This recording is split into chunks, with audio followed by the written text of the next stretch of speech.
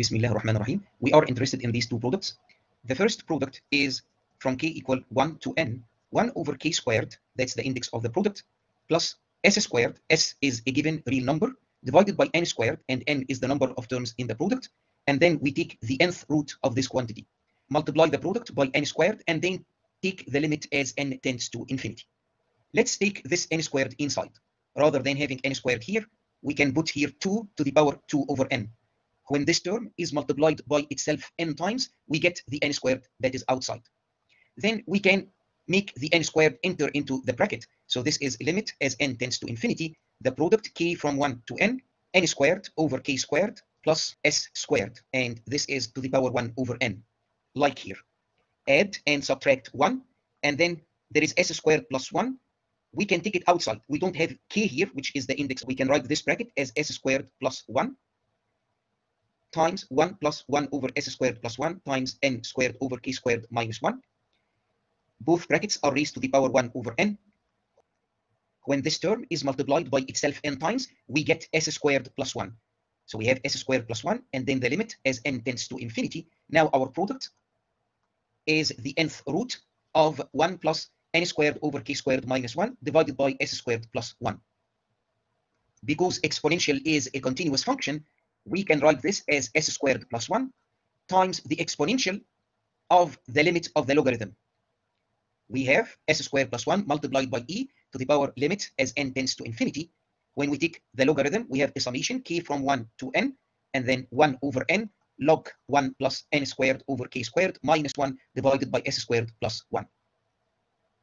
This is what we have here. The idea now is that we have a summation k from 1 to n, and inside the sum, n squared over k squared can be written as k over n all to the power minus 2. And then we have this outside factor, which is 1 over n. In the limit, as n tends to infinity, this is a Riemann sum.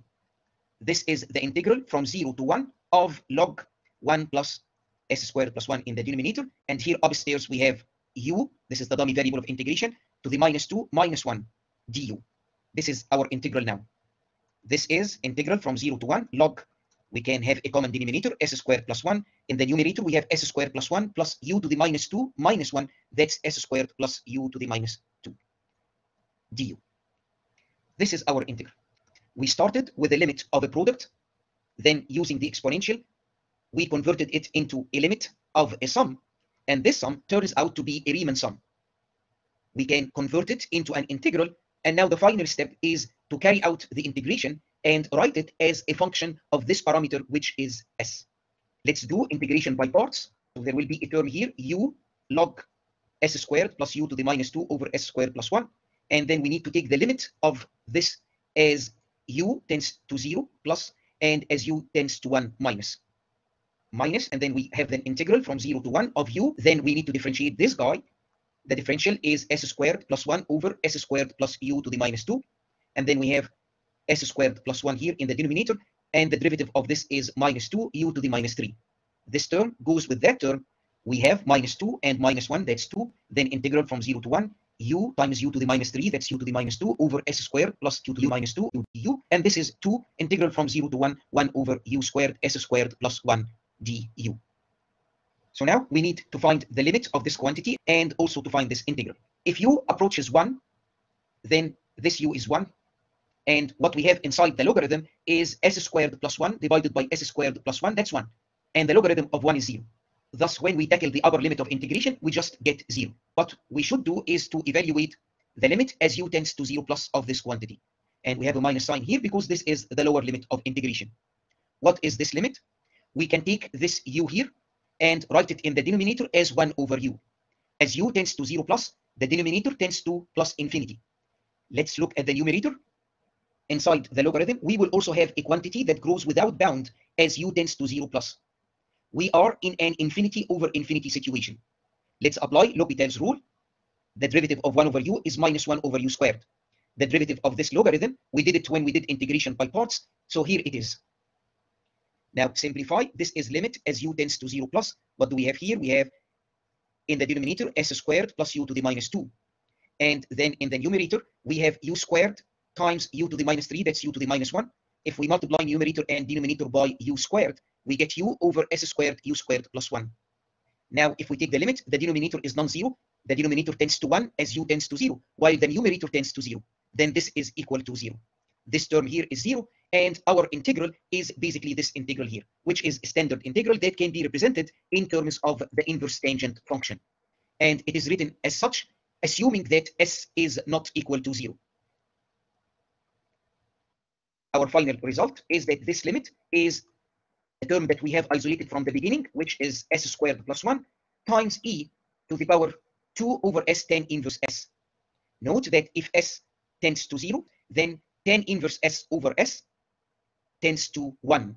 And so this quantity here, this is e squared when s tends to 0. And this is actually the value of this product if from the very beginning we put s equal to 0. It is equal to e squared. If s is equal to 0, then we have a limit as n tends to infinity, n squared. The product of k is factorial of n. So in the denominator, we get the factorial of n to the power 2 over n. This is this limit here if we set s equal to 0. How can we evaluate this limit? There are several ways of doing this limit. One of them is to do Stirling. And so this limit is limit as n tends to infinity of n squared. And then here we have 2 to the power n. What is factorial as n gets very large? It is square root 2 pi. Then we have the square root of n, that's n to the 1 half. Then we have n to the power n. And then we have e to the minus n. This is an asymptotic expression for the factorial of n as n tends to infinity. Now this is a constant number to the power 2 over n. As n tends to infinity, this tends to 1. Also, n to the power 1 over n tends to 1 as n tends to infinity. Then we have n to the n to the power 2 over n, that's n squared. This will eliminate the n squared in the numerator. Finally, we have e to the minus n to the power 2 over n, that's e to the minus 2. And this will be the result of this limit here. It will be e squared. This is our final expression, and it is valid for every s with the understanding that if we want to evaluate this function at s equals 0, we take the limit as s tends to 0, and we get e squared. Now we have this infinite product involving the Lucas numbers. The Lucas numbers start with 2, then 1, and then we add them to get 3, then we add 1 and 3 to get 4, we add 3 and 4 to get 7, and so on. Like the Fibonacci sequence, each Lucas number is the sum of its two immediately previous terms. We start indexing from 0, so L0 is equal to 2, L1 is equal to 1, and then Ln is equal to Ln minus 1 plus Ln minus 2 if n is greater than 1. We can solve this difference equation with those initial values, and we get that the nth Lucas number is the golden ratio, phi to the power n, plus minus phi to the power minus n. Phi, again, is the golden ratio. This is 1 plus the square root of 5 divided by 2. In our infinite product, we have L 2n plus 1. That's the golden ratio to the power 2n plus 1 plus minus the golden ratio to the power minus 2n plus 1.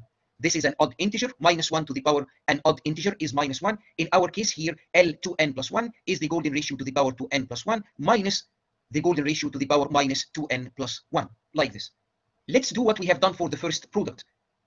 Let's take this product and write it as e to the power the logarithm of this infinite product, which is summation n from 1 to infinity, the logarithm. I will write this ratio as 1 plus 1 over L to n plus 1 divided by 1 minus 1 over L to n plus 1. The benefit of doing this is that this is a representation of the inverse hyperbolic tangent function. We have tanh inverse x, where x is between minus 1 and 1, is 1 half, and then the logarithm of 1 plus x over 1 minus x. We have n starting from 1, so this is L3, and L3 is equal to 3. The quantities that we have here are one third or less. Thus, we can write down this logarithm in terms of tanh inverse.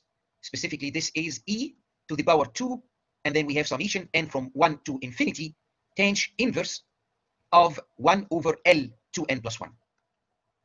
There are many sums involving the inverse tangent and the inverse hyperbolic tangent functions that can be converted into telescopic sums, and so they can be evaluated easily. And the secret in doing this is this property of the tanh inverse function. Tanh inverse of x minus tanh inverse of y is tanh inverse of x minus y divided by 1 minus xy. We have tanh inverse 1 over L to n plus 1. And now we know that this is the expression for L to n plus 1. This is tanh inverse 1 over the golden ratio to the power 2n plus 1 minus the golden ratio to the power minus 2n plus 1. Can we write this in this form here? Let's multiply the numerator and denominator of the argument of tanh inverse by phi to the minus 2n plus 1. So we have in the numerator phi to the minus 2n plus 1. And then here we have 1 minus phi to the minus 4n minus 2. The golden ratio satisfies that phi squared is equal to phi plus 1. Divide both sides by phi. So phi is equal to 1 plus phi inverse. This means that we can write 1 as phi minus phi inverse. This is very helpful here. We have tanh inverse, and then we have this phi in the numerator. We can imagine that this phi to the minus 2n minus 1 is multiplied by 1. This 1 can be written as phi minus phi to the minus 1. And the denominator is 1 minus phi to the minus 4n minus 2. This is tanh inverse of phi to the minus 2n minus phi to the minus 2n minus 2 divided by 1 minus, we can split this term into phi to the minus 2n times phi to the minus 2n minus 2. This is exactly what we need. x minus y divided by 1 minus xy. Two terms, two quantities, we have their difference in the numerator and then 1 minus their product in the denominator. Now, by this property of the inverse tanh function, we can take this and write it as tanh inverse phi to the minus 2n minus tanh inverse phi to the minus 2n minus 2. What do we have right now? Our goal is this infinite product n from 1 to infinity, L to n plus 1 plus 1 over L to n plus 1 minus 1. We wrote this as E, and then we have an infinite sum. We converted the logarithm into the inverse hyperbolic tangent function. So this is e to the power 2 summation n from 1 to infinity. And then we have tangent inverse 1 over L to n plus 1. But now we can write this as e to the power 2 and then summation n from 1 to infinity. We have tanh inverse phi to the minus 2n minus tanh inverse phi to the power minus 2 times n plus 1 like this. And this is a telescopic sum. This means that this summation is equal to the first term when n is 1 we have tanh inverse phi to the minus 2 and then if we imagine that our sum stops at big N, then the other term will be tanh inverse phi of minus 2 times big N plus 1. And we need to take the limit as big N tends to infinity.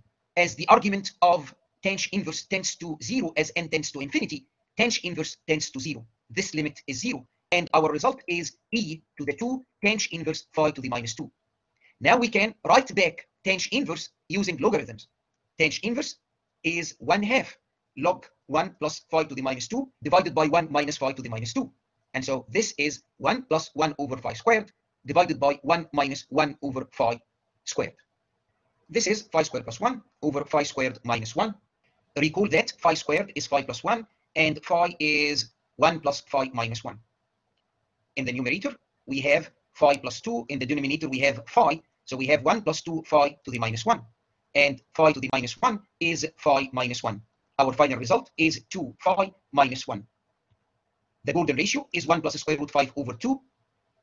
And so 2 goes with 2, 1 goes with minus 1. And so our infinite product is equal to the square root of 5.